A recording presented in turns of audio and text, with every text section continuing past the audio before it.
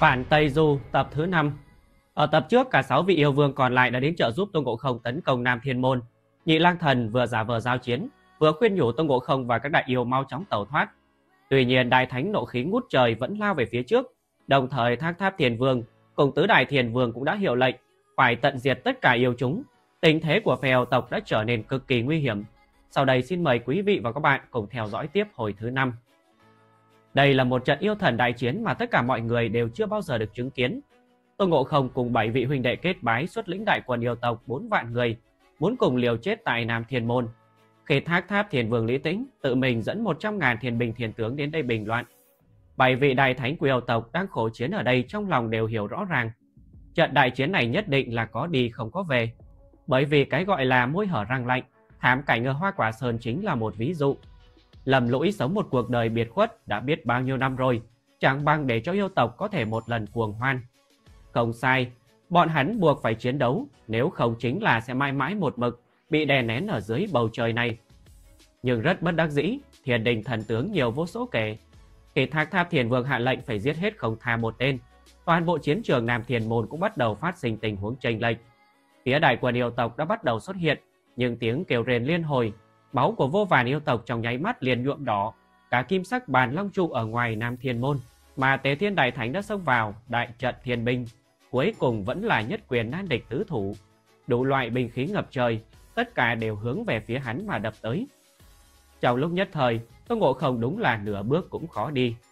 Lại nhìn về phía Ngưu Ma Vương đang đối mặt với tình thế, bị tứ đại thiền vương liên thủ vây công, pháp lực cũng là sắp khô kiệt.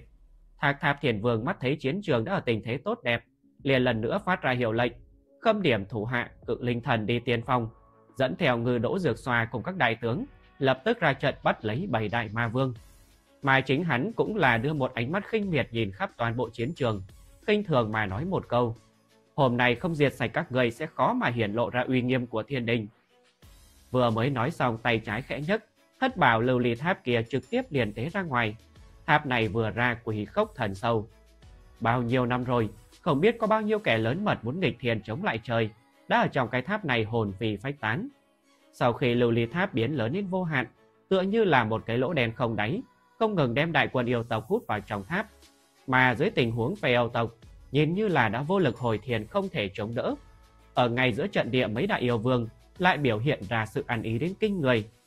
Lại trong cùng một thời gian phóng xuất ra bản thể của mình, khi sáu đạo yêu khí đồng thời tề tụ, trong lúc nhất thời cuồng phong gào thét, trong nháy mắt liền che khuất bầu trời tươi sáng của Nam Thiên Môn. Lại nhìn trên trận tuyến của đại quân yêu tộc, tất cả đều hai mắt huyết hồng gào thét như không cần đến tính mạng xông về phía trước.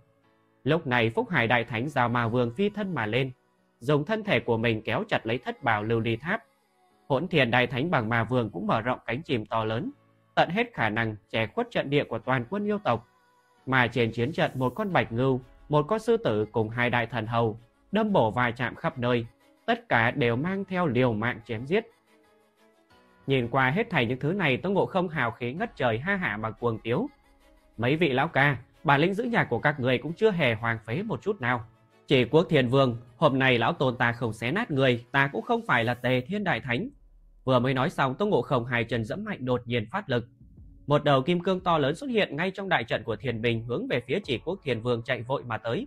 Vô số đào quang kiếm ảnh không ngừng ở trên người hắn thoáng hiện. Hắn vốn là cột tay đã bị trọng thương.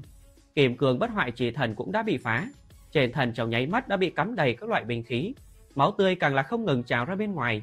Cho tới giờ khắc này, chỉ quốc Thiền Vương rốt cuộc cũng lộ ra thần sắc sợ hãi. Bởi vì hắn đã nhìn ra, cái tên Tô Ngộ Không đang phát điên kia, rõ ràng chính là đang muốn cùng hắn đồng quỳ vô tận. Mà cùng một thời gian này tại chỗ xấu nhất trong âm tào địa phủ, hậu thổ đường đường đột nhiên mở ra đôi mắt sáng rực. Từ tốn nói ra một câu, thời cờ sắp tới, chỉ cần nhân hoàng hàng thế, liền có thể đập nát linh tiêu công hạ linh sơn. Người có biết kết cục của bảy huynh đệ mà Tôn Ngộ không từng kết bái là thê thảm như thế nào hay không? Bảy đại yêu vương quyết định liên thủ đại náo Nam Thiên Môn. Nhìn qua tưởng chừng như là hào tình vạn trượng, nhưng kỳ thật cái bi kịch này đã được quyết định từ lâu. Bề trên lấy thiên địa làm thành ván cờ, Bất luận là ai cũng không thể thoát khỏi vận mệnh sẽ trở thành một quân cờ. Lúc này trên Nam Thiên Môn bảy đại yêu vương, bao gồm cả Tôn Ngộ Không trong đó, hiện đã là cùng đường mạt lộ như nỏ mạnh hết đà. Thác Tháp Thiền Vương Lý Tĩnh cũng đã động sát tâm. Lúc chỉ quốc Thiền Vương mắt thấy Tôn Ngộ Không liền muốn vọt tới trước mặt mình, hắn ta cuồng loạn hết lớn một tiếng, Đám súc sinh phàm nhân quả nhiên là không biết trời cao đất rộng. Ta là chỉ quốc thiền vương cao cao tại thượng, chỉ bằng còn yêu nghiệt như người lại muốn cùng ta đồng quỳ vô tận, người cũng xứng sao? Sau khi nói xong, tứ đại thiên vương đồng thời xuất thủ tế ra pháp bảo. Trong chốc lát tứ đại pháp bảo vậy mà hợp bốn thành một, một thành cự kiếm trôi nổi giữa không trung, trên thần kiếm có xích long vờn quanh.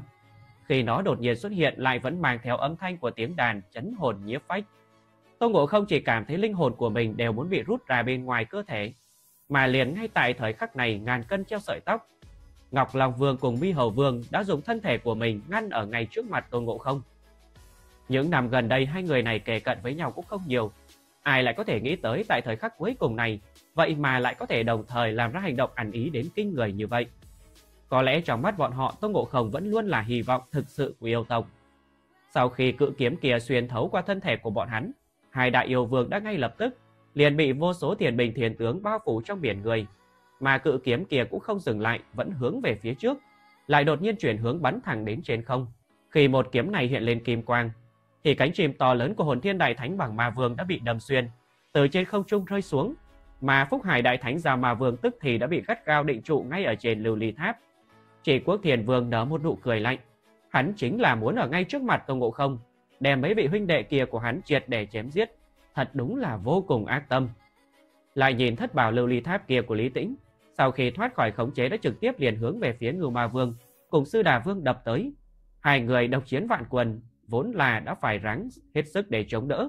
Bất ngờ không đề phòng, chỉ có thể giơ lên hai tay chống đỡ thần tháp. Hai chân cũng trong nháy mắt hãm sâu vào dưới mặt đất.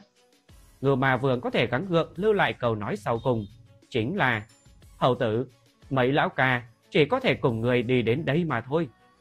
Sau khi nói xong cự tháp kia ầm vang nện xuống, ngoại trừ cho bụi tán loạn bay ra thì cũng chẳng còn lưu lại thứ gì nữa. Nhìn thấy hết thảy những điều này Tô Ngộ Không trong đầu ong ong nổ vang. Tất cả suy nghĩ đều trống rỗng chỉ còn lại một chữ, đó chính là giết. Tôn Ngộ Không triệt để mất hết lý trí vọt tới trước mặt chỉ quốc thiền vương, mở ra răng nanh to lớn cắn một cái ở ngay cổ của đối phương. Chỉ quốc thiền vương liên tục gào lên từng tiếng thét thề lương, không ngừng kêu lên cứu mạng, mà tam đại thiên vương còn lại lửa giận đã ngút trời, vô số nắm đấm liên tục không ngừng chút xuống đầu Tôn Ngộ Không. Nhưng cái con khỉ điên kia chính là đến chết cũng không chịu há mồm. Sau một lát, Tôn Ngộ Không tại chỗ gầm thét đánh bay tất cả thiên binh thiên tướng ở chung quanh. Toàn bộ thiền cùng tất cả đều run rẩy. Mà ở trên đất chỉ quốc thiền vương cũng đã không còn khí tức sinh mệnh nữa. Tề thiền đại thánh vẫn lưu lại hài hàng huyết lệ bởi vì não bộ đã bị trọng thương, thần trí của hắn đã trở nên mơ hồ. Trong ánh mắt tất cả đều là dã thú hùng ác. Trên chiến trường Hạo Thiên Khuyển ở cạnh sát nhị lang thần Dương Tiễn đều phát ra những tiếng kêu rên, tựa hồ đã muốn vì sự kết thúc của nhất đại yêu vương kia mà than khóc. Nhưng đúng vào lúc này, trên trời đột nhiên sáng lên một đạo quang mang.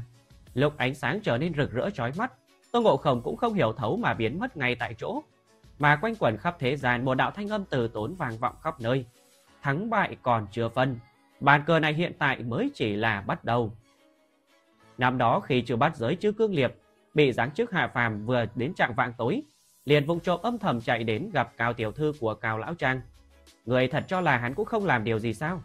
Tất cả mọi người đều biết Thiền Bồng Nguyên Soái chính là một trong tứ đại hộ pháp thiền thần của tử vi Bắc Cực Thái Hoàng Đại Đế, dưới tay còn có cả Bắc Cực Tứ Thánh. Nhưng ai có thể nghĩ đến, sau khi đầu thai thành trư yêu, công pháp mạnh nhất của hắn cũng không phải là Thiền Cường 36 biến, mà là ác chiến trì pháp trong truyền thuyết. Không sai, công pháp này chính là thuật pháp thải âm bổ dương. Lúc trước noãn nhị tà bị hắn chiếm đoạt, thì không đến một năm sau liền đã chết. Chính vì mấu chốt lá chiến trì pháp cần của nữ nhân song tu, cho nên chưa bắt giới lúc này mới để mắt tới Cao Thúy Lan. Mà lại sau sự kiện phát sinh tại Linh Sơn lúc ấy, chưa bắt giới nhìn như đã hình thần câu diệt. Nhưng kỳ thật, hắn cũng giống như đường tam tạng đã được trao cho một chút hy vọng sống. Khi hắn lần nữa trở lại Cao Lão Trang, nơi này cũng nhất định trở thành thiên đường để hắn tiếp tục lần trốn. Về phần sư huynh cùng sư phụ, đến cùng đã sống hay chết thì hắn cũng không cần phải quan tâm. Lại nói đến Tôn Ngộ Không lúc này đang ở tại Nam Thiền Môn, sắp bị thiền chúng hợp lực đánh giết, thì tại thời khắc cuối cùng đã đột nhiên có người ra tay cứu thoát. Người này không phải ai khác chính là ngũ trang quán địa tiên tri tổ Trấn Nguyệt Tử. Một chiêu tụ lý càn khôn đã che giấu được trước đây trời thiền bình thiền tướng. Một câu nói bàn cờ này hiện tại mới chính là bắt đầu, càng làm cho tất cả mọi người minh bạch. Trước đó phát sinh hết thảy mọi thứ cũng là vì từ trong lòng Tôn Ngộ Không đã chôn vùi xuống một hạt giống hận thù. Tôn Ngộ Không sau khi bị mất đi, đám hậu tử hậu tôn cùng sáu vị huỳnh đệ về sau Hắn thần trí bấn loạn cả ngày cứ lầm lũi ở Hoa Quả Sơn. Đã mất đi cánh tay trái đầy người máu đen, như là cô hồn dã quỷ đúng là vô cùng thê thảm. Nhưng nhiều năm về sau, hắn cuối cùng vẫn là có thể chờ đợi được một tia ánh sáng hy vọng vốn là thuộc về mình. Mà tia sáng hy vọng này đó chính là đường Tam Tạng, vốn đã hóa thành một bộ xương khô vừa tìm lại được ký ức. Đường Tam Tạng hiện tại đã biết, hành trình đi về Tây Phương của mình đã tạo thành một sai lầm cực lớn. Vì chúng sinh, hắn nguyện ý sẽ lại lần nữa đi vào con đường Tây Du để tìm về công đạo cho thế gian. Tam Tạng liền lập tức đi đến Hoa Quả Sơn để tìm đại đồ đệ của mình là Tôn Ngộ Không. Nhưng nhìn Tôn Ngộ Không lúc này như cô hồn dã quỷ thân thể tàn phế. Tam Tạng vô cùng kinh hãi không cách nào miêu tả thành lời.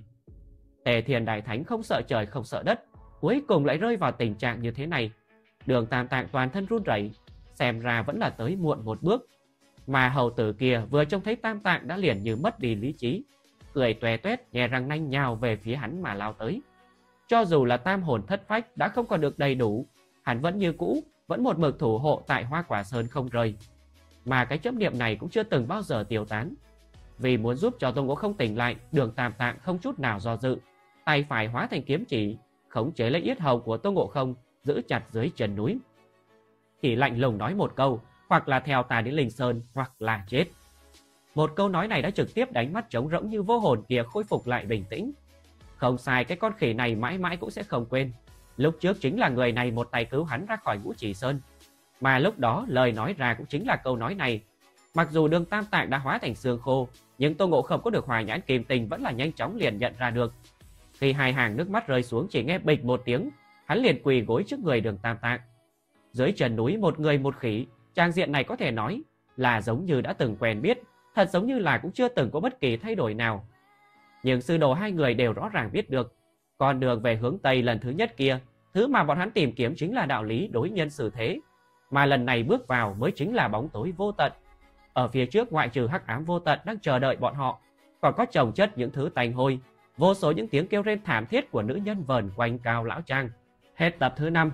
Các bạn vừa theo dõi xong tập thứ 5 của câu chuyện phản Tây Du. Vì để cứu mạng Tôn Ngộ Không thì Lục Thánh gần như đều đã mất mạng. Tôn Ngộ Không trong lúc ngàn cân treo sợi tóc đã được một người cứu đi. Đường Tăng đã đến Hoa Quả Sơn tìm đồ đệ. Tiếp theo, một điều đáng sợ gì sẽ chờ đợi bọn họ Cao Lão Trang? Xin mời quý vị và các bạn cùng chờ đón ở tập thứ 6. Để cập nhật và tìm hiểu về câu chuyện này, các bạn hãy truy cập vào hai group của mình. Thứ nhất đó là group Thần thoại Trung Hoa và thứ hai đó là group Anh em chuyện tiên hiệp. Xin chào và hẹn gặp lại tất cả quý vị và các bạn ở những video hấp dẫn tiếp theo.